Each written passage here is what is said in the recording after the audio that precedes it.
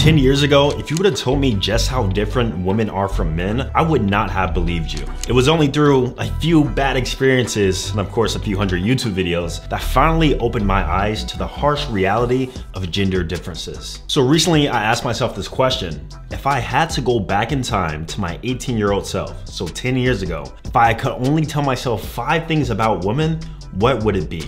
Now, I wanna put my young, naive self in the best position possible. So what I'm gonna say is not only the things that will help me attract more women, but also keep the woman I want within my life. Starting off with number one, you either must be her first or be her best. This goes deeper into actually getting a woman attached and how you can actually retain a woman long term. Have you guys ever been in those relationships or even those flings to where it just feels like there's no chemistry, kind of feels stale, it feels boring? I guarantee you, a little bit might be her fault, but it's probably your fault too. And that comes down, like I said, you're either not her first and you're definitely not her best. Now, in terms of what this actually means, let's break it down. The reason why it's a good thing to be a woman's first is because the first guy sets an imprint on her. You ever been with a woman to where you know, she tends to prefer a certain guy in terms of physicality or even behavioral characteristics. That's because of her imprint. So that's the first guy she either fell in love with, the first guy she had sex with, the first guy that took her to this certain place. You can be the first for a lot of things, but the point is you need to set that imprint on her if you want her to not only be attached to you long term, but also remember you long term. I know for a fact there are some girls out there that will never forget me, and that's because I was their first. Not necessarily from a sexual standpoint, but in other aspects. So the girl you're talking to right now or your girlfriend right now, an easy way to actually implement this is try new places. Go to things that she's never tried before, things that you never tried before.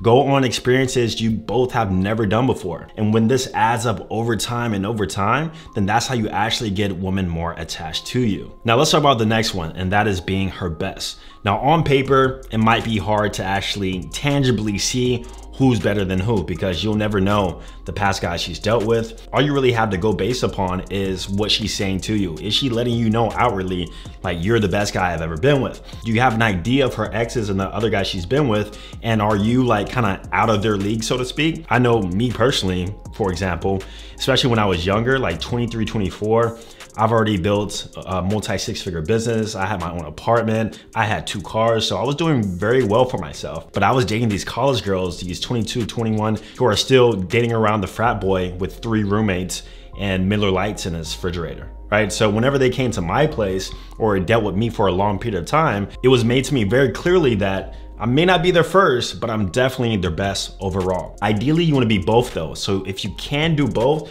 that's gonna be a thousand times better. But to the least, at least do one. Be her best or be her first. Now, let me tell you guys a story. This has happened countless of times, but I was on this date with a girl. We were at the bar in the restaurant. And as we're having conversation, she starts talking about her past and how she hasn't been on a lot of dates. And in some cases, uh, other girls have told me I'm the first guy they met off a dating app or met off Instagram and how they haven't had sex in like over a year, how they're celibate, etc., etc. I, can't tell you how many of these stories I have heard consistently and ongoingly. Now, 10 years ago, if I would have heard something like that, I would have believed it for face value. But now, knowing how women are, I know that women are purity dealers.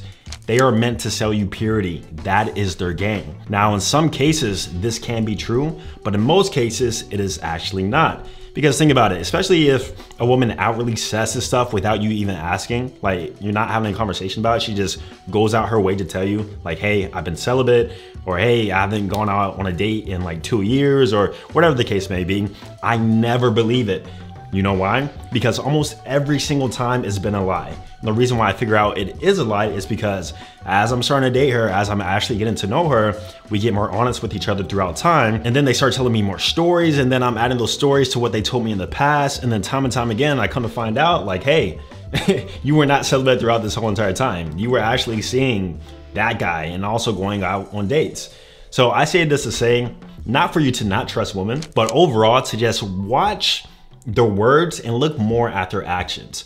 If a woman who goes to a lot of parties, if a woman who drinks a lot of alcohol, if a woman who is on every single dating app and you've seen her on every single dating app, if she tells you like, hey, I'm celibate or she's trying to deal you purity, just outwardly say, you know, okay, sounds good, cool, cool, play it off, but like in your head, no, like, hey, she's telling me this because this is game. Because if you actually knew what she was doing, if you actually knew that she wasn't quote unquote pure, then women know that potentially you may not take them seriously.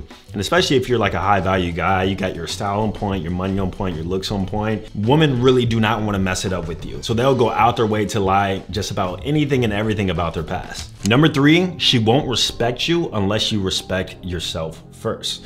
My whole dating strategy is based upon respect. I have a lot of loopholes, a lot of hoops that women have to jump through before they even go out on a date with me. And especially if I want to keep them within my life. Like there's certain things that a girl has to do and has to do without me telling her. Now the reason why I do this is to not only attract high interest women in my life, but also it sets a boundary for respect. Because if you don't know, respect comes before love. Now, to a woman, they value love, right? They want to be validated, they want to be reassured, they want to be loved. But for us men, respect holds a heavier weight than love itself. If you're a man looking for love, then you should absolutely stop and just look for respect first. And that comes with respecting yourself first. So another big example is how sometimes a woman might flake on a date and a guy will go out of his way to still pursue that woman. You know, these are little things that just overall shows that you don't respect yourself. And for that reason, women aren't gonna respect you back. Another way to respect yourself is to, once again, set boundaries and always be willing to walk away. That's a man's biggest power is just simply the ability to fully walk away and not need to have that woman specifically within his life. And once you build that abundance mindset and once you actually start respecting yourself on all fronts, you're gonna notice that love is gonna come actually a lot easier for you. Are you tired of getting on dating apps and not getting the results that you want? Or does your Instagram look like a 2013 archive? If so, then listen up. Every man wants to be high value, but nobody is willing to put in the work or they're just overwhelmed with all the information they have out there. This is exactly why I created my Digital Romeo mentorship. This is a 12-week mentorship where I take you through the exact processes that I use for myself to level up my dating life, online image, and status. Not only are you gonna learn how to make yourself more attractive, but I'll teach you how to represent that in an online image so that you can then leverage for more dating and financial success. I'll also show you how to build social status so that you can network better online. At the same time, building out your dating funnel so that you attract women on autopilot. If you let me guide you, I promise you, you'll have no choice but to succeed. We don't work with everybody, but you may be a good fit. If so, click the link down below this video for a free one-on-one -on -one consultation. Hope to speak to you soon. Back to the video. Now, speaking about myself 10 years ago when I was 18 years old, I always thought relationships were 50-50. I thought, you know, it's emotional support, equal exchange, value driven, just solely 50-50. That's the way relationships work. And in some cases, they can work that way depending on the dynamic. But one big thing that guys need to realize, and this is something that I would definitely tell myself, is that women are not your therapist or problem solvers. Listen, my current life right now, the things I deal with with business and managing this and taking out this fire, there's no way I can go to a woman and explain these things to her for a logical sound response. No. And so for you guys going to your woman, explaining your problems, your issues, the things you gotta deal with, how you're so stressed, like women aren't built to problem solve. Women aren't built to sort of, you know, handle or help you out in these situations. Sure, you can get some emotional support, you know, get a back rub, get a head pat. But after a while, we all know that this will actually eventually lose attraction if you do it too much and too often. So with that being said, I have learned to deal with my problems internally or with that outward group. This could be other friends, this can be other mentors, this can even be sometimes students within my own personal group. Because if you guys don't know, my coaching system, I have like a, a, big group of guys, so we explain these problems to each other on an ongoing basis, right? And that's the importance of a man having a support group overall and not just relying and going to your woman for everything. And honestly, I don't even talk about money. I don't talk about anything personal or private with a woman that I'm dealing with. No, everything's just fun and exciting. You know, every now and then, of course, you have your disagreements or arguments, but anything when it comes to business or your own personal life, unless it's like super serious, to the point of like suicidal sort of thoughts or tendencies, then I would keep all that stuff to yourself. This also sets the right dynamic of that leader to follower sort of dynamic, right? And I believe every relationship works best whenever the man is leading, has the control, has a stoicism, and the woman, she can be emotional all she wants, right? You can handle her problems. You know, us men tend to even handle women's problems a bit logically. But the point is, you wanna keep that dynamic and you're gonna ruin that dynamic if you come to her as if she's like your therapist or your problem solver. Avoid that completely. Now, one of the last things I would tell myself is that women's behavior changes through age. I have seen a tangible, clear difference of how women are acting now at my age of 28 versus when I was 23, 24. Because the way dating apps work is that as you get older, they still match and pair you, usually with women your age or a few years younger. So when I was 22, 23 on Tinder and dating apps, I was getting, once again, with the college girls, 19 year olds, 18 year olds, things like that. But now I'm consistently matching with like 27, 28 year olds. And I've noticed that these women that are in the late 20s specifically, they are on the biological clock, my friend. Like they are dating with a purpose, they are serious. Some of them already have kids. So overall, I've noticed that their expectations are a little higher versus uh, younger girls.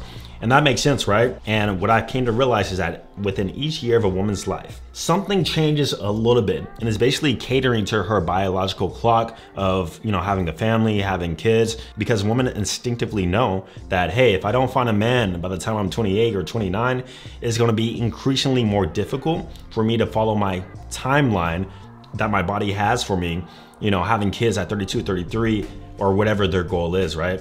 Now, in some cases, they'll act totally different depending on their age, but for the most part, for the majority of women, you know, that early time frame of their 20, 21, 22, they're having fun, they're partying, they're not taking you serious whatsoever, right? Every now and then you come across a good girl, but for the most part, girls just wanna have fun. Now in the mid 20s, they're more open to having a little something more serious, but it kind of depends on the girl. But like I said, the late 20s, early 30s is a whole different ballgame, man. Honestly, I believe the best age to date a woman will be anywhere between 23 and 25. 24 is like the sweet spot. You know, any older, it's like a lot of trauma, a lot of experience, which can be a negative thing, a lot of expectations, you know, but when they're too young too, like 19, 20, they're kind of dumb. Like they don't know what they want. They're just having fun. You know, it's just not something that as a 28 year old man that I would want to deal with long term. So I found like the mid 20s to be perfectly, but just know and understand the woman's going to act totally different depending on her current age right now. And that's something that I wish I would have known. Now, one thing I also wish I knew is the fact that you can actually attract women without even opening your mouth. In fact, in this video, I did a whole breakdown on it and how you can do the same. So be sure to watch that one next.